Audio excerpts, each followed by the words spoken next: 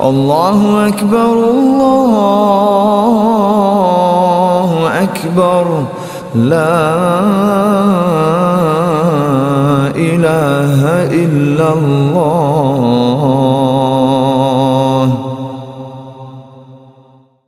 har bittamizni qadamimizni to'g'ri yo'lga hidoyatga boshlasin ulug' arshning robbisi alloh azza va jalla so'rab ketaman har bittamizni bu dunyo jamlagandek oxiratda payg'ambarlar bilan jamlasin Amin. Bugun biz sulaymon alayhissalomning qissasini davom etamiz. Alloh azza va jalla qur'onda naml surasida sulaymon alayhissalomning qissasini batafsil zikr qiladi.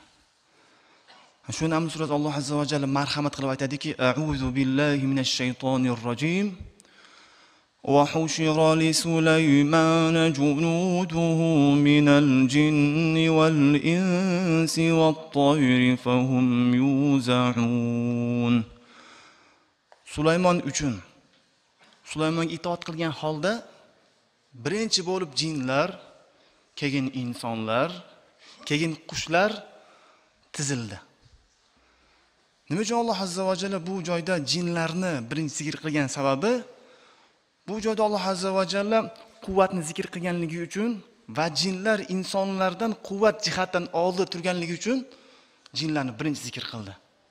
Insonlar ikkinchi o'rinda. Aql jihatdan insonlar jinlardan oldin turadi.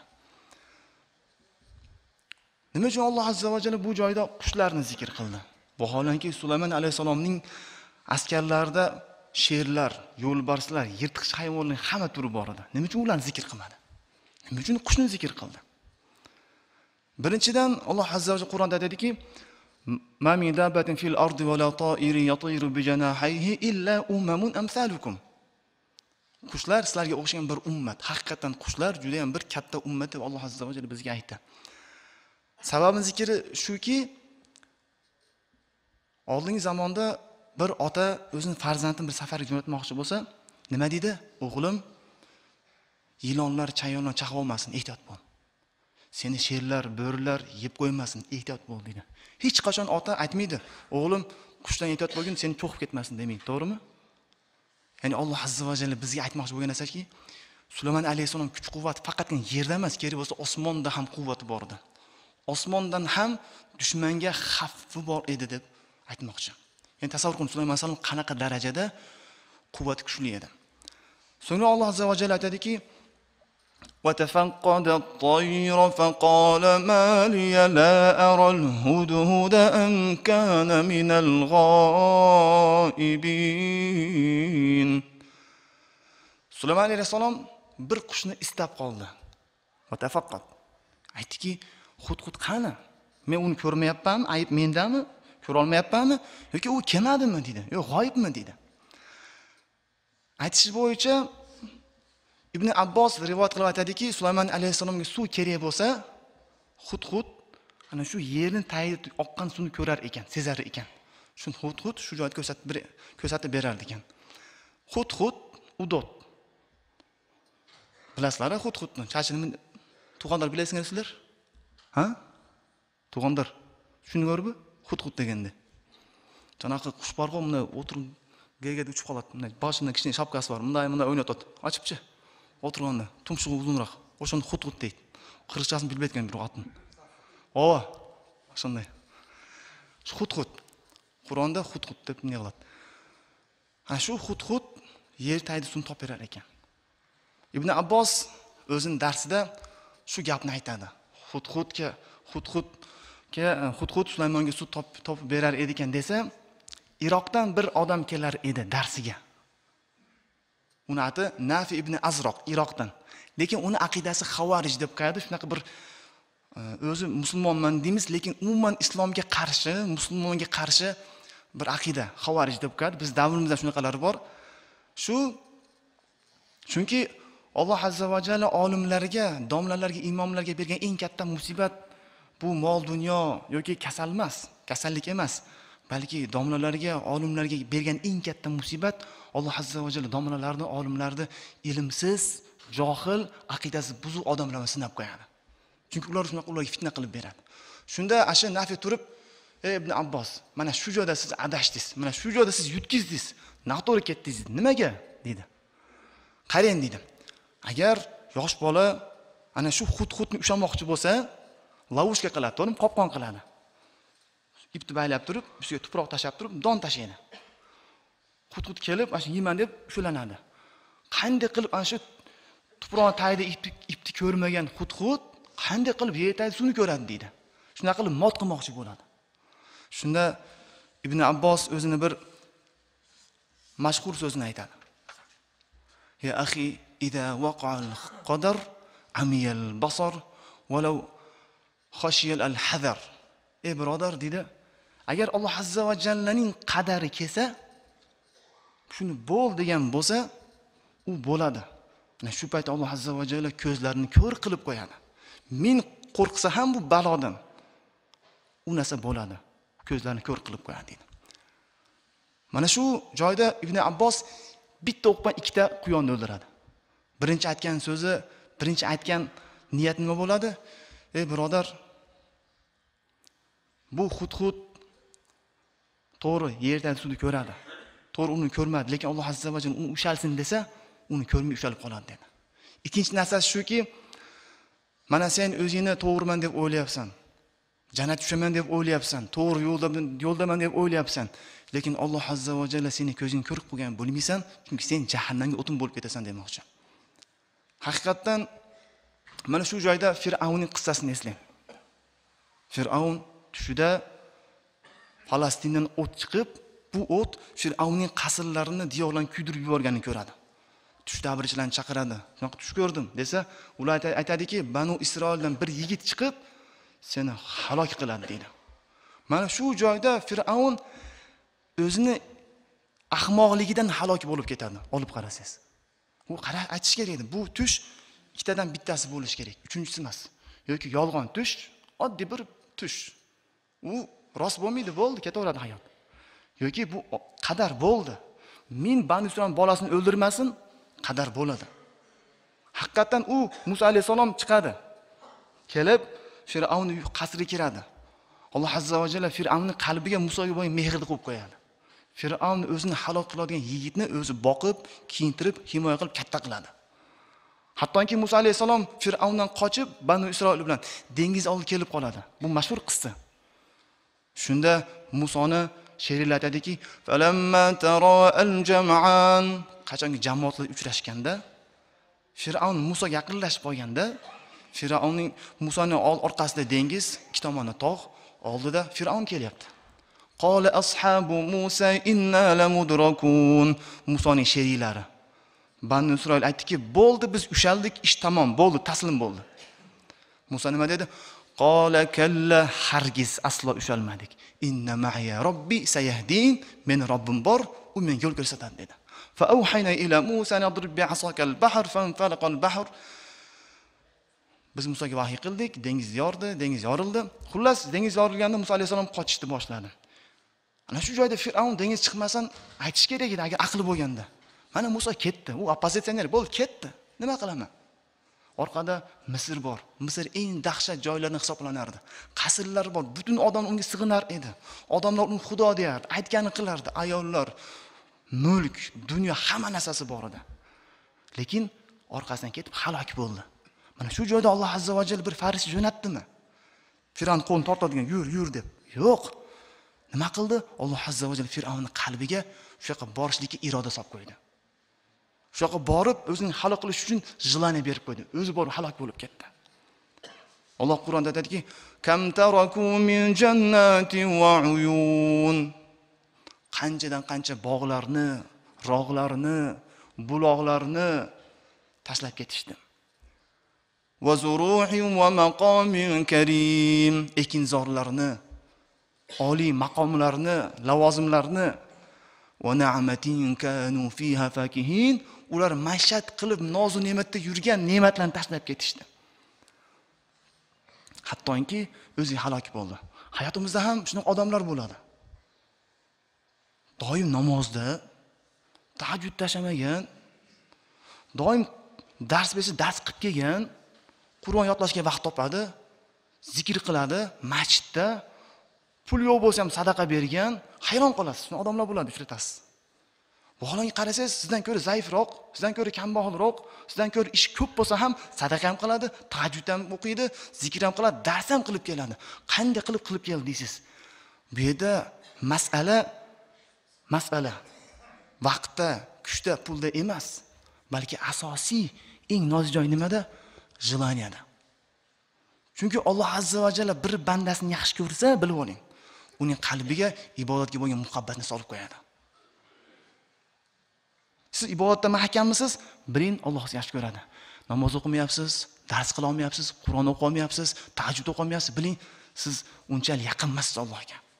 Endi qanday qilib biz alloh azza va jallaning muhabbatiga egador bo'lamiz? Qanday qilib biz alloh azza va jalla rahmatiga egador bo'lamiz deganda qanaqa qilib biz alloh azza va jallani rahmatini jalb qilamiz deganda siz qanchalik alloh azza va jallaning huzuridagi narsalarga ishtiyoqingiz kuchli bo'lsa u jannat roziligi muhabbat. Shu narsaga qanchalik ishtiyoqingiz kuchli bo'lsa shunchalik alloh azza va jalla sizga ibodatga bo'lgan muhabbat berib qo'yadi. Katta moshina minishni xohlayapsizmi ishlash kerak ishlash uchun желание bo'lishi kerak. Masalan siz ham jannat ko'p xohlayapsizmi undan chiqdi ko'p namoz o'qiysiz ekan. Namoz tashlab o'qib o'qimasdan zikr qilmasdan mashat qilib yurgan bo'lsangiz unda jannatga loyiq emassiz birodar.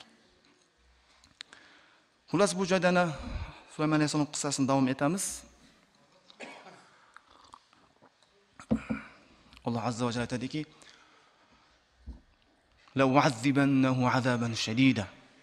nimaga kelmadi hud? Hud qani? Men uni azoblayman patini yulaman. Avla azbahannahu yoki men uni so'yaman. Avla yatiyanni bisultonin mubin yoki u menga ochiq oydin bir uzr olib keladi dedi. Ana shunda men uni kechiraman. dedi Alloh vaqt o'tmadi ozgina vaqt o'tdi ko'p o'tmadi فمكث غير بعيد فقال أحط بما لم تحط به ozgina vaqt o'tmasan hud hud keldi kelib sulaymon alayhissalomga oldiga o'tirdi qo'ndi aytdiki ey sulaymon sen bilmagan narsani men bilaman dedi sen men payg'ambar bo'lsang ham sen bilmagan narsani men bilaman U nimaga dalil qiladi. Maxluq kim bo'lishidan qat'iy nazar. Farishta bo'ladimi? Payg'ambar bo'ladimi? Payg'ambarlarning sayidi bo'ladimi? U maxluqning u insonning ilmning chegarasi bor. Sulaymon alayhissalom men kuchli bo'lsa ham ana shu bir xabarni bilmabdi. Men qush bo'lsam senga o'rgataman dedi. Min sabain qanaqa xabar deganda sabodan sabo hozirgi yemen davlatdagi bir vodiy bo'ladi. Sabodan men senga bir sluh mish mish emas balki o'zim ko'zim bilan ko'rgan odamlardan eshitmadim o'zim ko'rdim ochiq oydin yuz foiz yangilik olib keldim deydi. Qani edi biz ham shu xuddi xud o'xshasak ko'chada eshitib eshitib har narsani tarqatmasak. Shunda sulaymon alayhissalom aytadiki davom et. qiziqarli bo'ldi. Aytadiki inni vajadtu imra'atan tamlikuhum va utiyat min kulli shay va laha arshun azim. Men u joyda bir ayolni ko'rdim. U ayol ularga hukmdor ekan ularga podshohlik qilar ekan. Va u ayolning har narsasi bor ekan. Har narsa degan har narsa emas balki podshohga nima kerak bo'lsa qasrmi mol dunyomi askarimi bor ekan. Va ular ichida eng ajralib turadigan ko'z ko'rinib turadigan narsa ey sulaymon ulug' taxt arsh ulug' tron bor ekan dedi. Mana bu joyda hudhud u ayolning dunyoviy ekonomический holatini zikr qildi. Nima uchun hudhud bu joyda men malikani ko'rdim? demadi. Balki ayolni ko'rdim dedi. Buning sababi shuki hudhud ham ayol kishini lider bo'lishini xohlamadi. Rasululloh alayhi davrida kisroni vafot etganda forsning podshosi o'rniga bir ayol qizi podshoh bo'ladi. Shunda aytadiki ayol kishi boshqargan davlat halok bo'libdi deydi. Hudhud ham ayol kishini malika bo'lishini xohlamabdi undan so'ng hudhud u ayolning diniy holatini zikr qilishni boshlaydi. Men u ayolni ollohdan boshqa va qavmini Allohdan boshqa quyoshga sig'inganini ko'rdim. Va zayyana lahumush shaytonu a'malahum. Shayton ularni amalni zinatlab beribdi. Shayton ularni vasvas qilibdi. Fahum la yahtadun va ular to'g'ri yo'l topishmabdi. So'ngra diqqat qiling. Xud-xud o'zini qissani zikr qilish boshladi. ألا يسجدوا لله الذي يخرج الخبأ في السماوات والأرض ويعلم ما تخفون وما تعلنون ey xud xud unda kimingiz ibodat qilish kerak deganda har bittamizga aytyapti. Ular yer bilan osmondagi maxfiy bekingan narsani oshkora qiladigan Allohga sizlarni va ichinglardagi bor narsani oshkora qiladigan sizlarni bekitadigan va sizlar maxfiy va oshkora qiladigan narsalarni Alloh azza va jalla biluvchi Alloh azza va jallaga ibodat qilishmadi dedi. Nima uchun bu bu joyda xud Alloh azza va jalla maxfiy narsani oshkora qiladi degan narsani zikr qil deganda har bir maxluq o'zi kerak narsani aytar ekan. Chunki xud xud yerni tagidagi bekin turgan suvni topish mm, topolganligi uchun alloh azza va jalla maxfiy narsani oshkor qiladi deb aytdi. So'ngra oyat davom etadiki allohu la ilaha illa huva robbul arshil azim.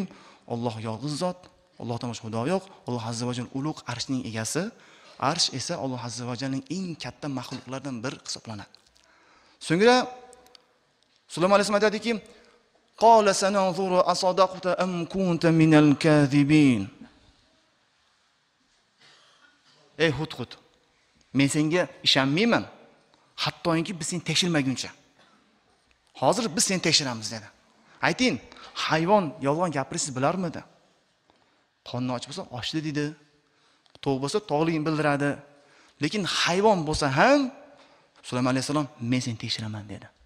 Biz esa xabarni tekshirmasdanla sirras ushlanamiz bizga bir odam maqtab kelsa yoqmaydi yomonlab kelsa yoqadi. Chunki inson tabiatdan yaxshilikni esdan chiqaradi. Shunda aytadiki sulaymon alayhissalom قال سننظر أصدقت أم كنت من الكاذبين اذهب بكتابي هذا فألقه إليهم men senga maktub yozaman xat yozaman shuni olib tumshug'ing bilan unga tashla so'ngra fatavallahnu chetga chiq chetga chiq qarab tur fanzur maza yarjiun nima qilar ekan sen tomosha qilib tur dedi hud hud ana shu joyga keldi chunki u joyni faqat hud hud biladi kelib turib bilqisning oldiga shu xatni tashlaydi. Lekin bilqis ana shu hudhudning fe'l atvoriga qarasa uni hayron qoldirdi. Tashlaydida ichiga chiqib bir narsani kutib qarab turgandek bo'ladi. Bu joyda bilqis bu hayvonni jo'natgan xo'jayini haqiqatdan disiplinani yaxshi ko'radigan ekanligini biladi.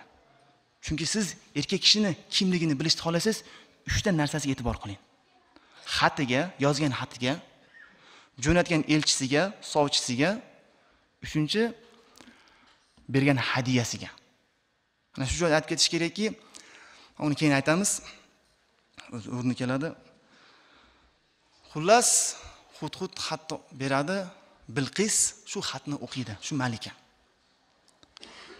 So'ngra aytadiki قالت ya ayyuhal malau inni ulqiya ilayya kitabun karim.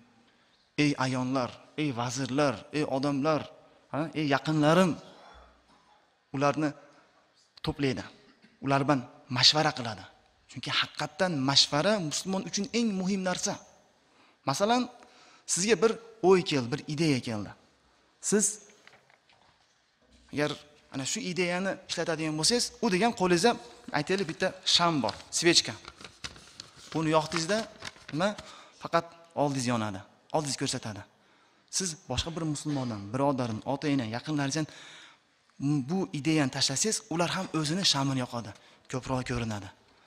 To'rtta beshta mashvara qilsangiz yanada ham ko'proq ochiq bo'ladi. Shuning uchun alloh azza va bu joyda u ayol kishini shu ayollar bilan mashvara qilganini sovetоваться qilganligini maslahatlashganini aytdi. Mana shu ayolni o'zini yaqinlari bilan mashvara qilganligi nimaga dalolat qiladi? Bu ayolni haqiqatan aqlli ayollik bo'lganligini.